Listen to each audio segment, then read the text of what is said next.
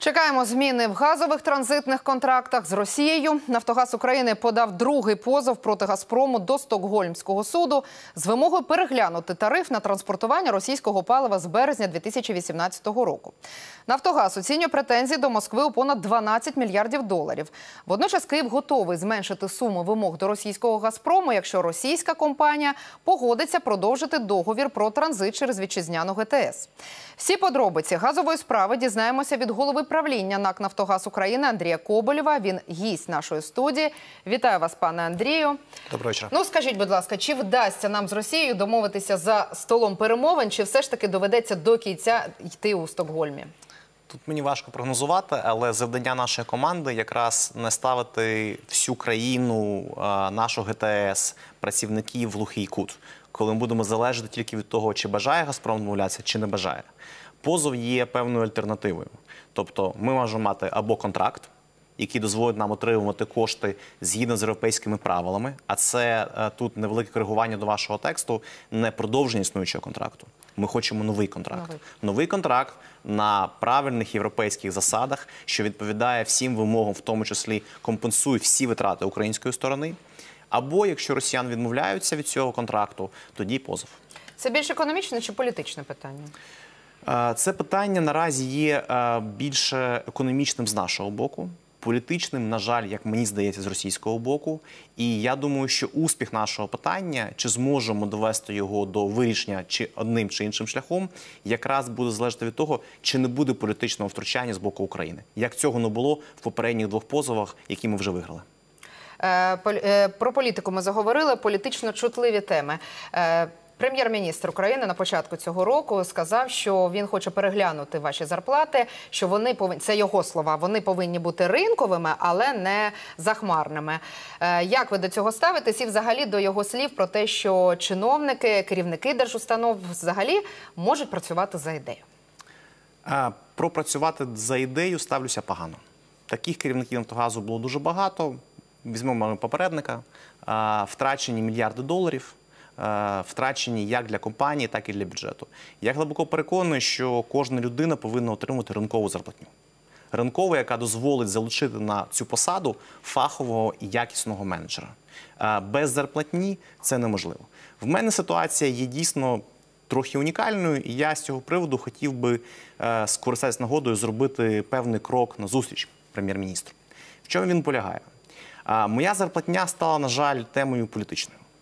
Її футболять всі, кому не лінь, вибори, цікава тема. Небагато людей в Україні заробляють великі гроші. Це дійсно дуже популярна історія, і використовують з політичною метою.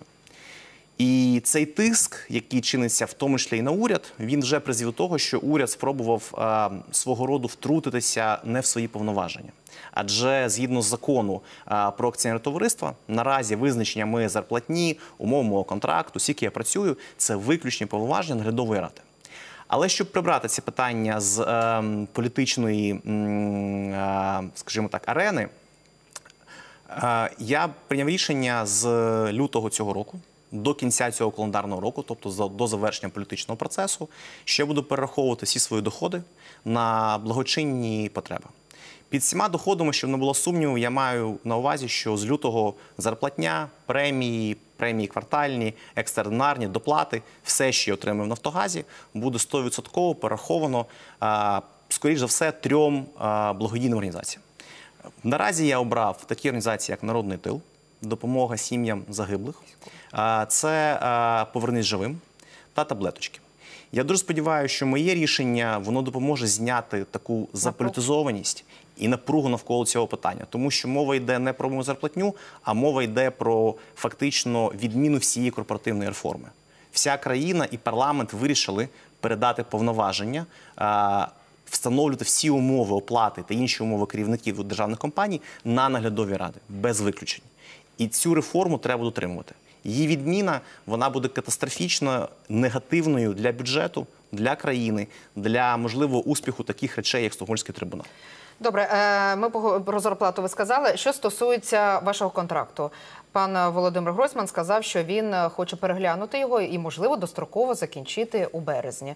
Е, За законодавством, я так розумію, він, ну поясніть, він може це робити, не може він За себе. Хто взагалі регулює? За законодавством всі ці питання підпадають під виключну компетенцію наглядової ради. І саме чому я приймаю таке рішення? Тому що політичний тиск, наскільки я розумію, Володимира Борисовича, примушує його реагувати.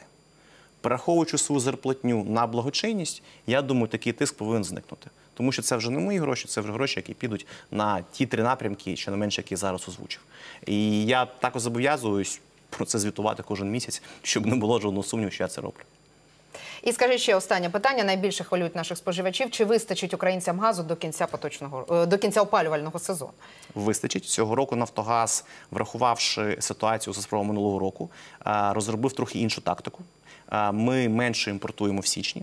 Ми будемо по-іншому себе вести у лютому і в березні. Але газу вистачить, переживати не потрібно. Я вам дякую. Це найголовніше. Я нагадаю всім нашим глядачам, що гостем студії був голова правління НАК «Нафтогаз України Андрій Коболєв.